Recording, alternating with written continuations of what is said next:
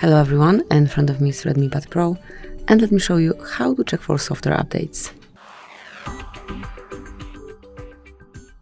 At first open the settings, then find and select About Tablet and mark uh, Xiaomi HyperOS.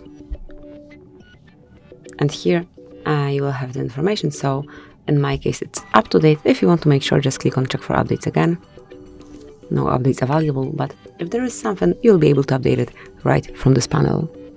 Thank you for watching, please subscribe our channel and leave the thumbs up.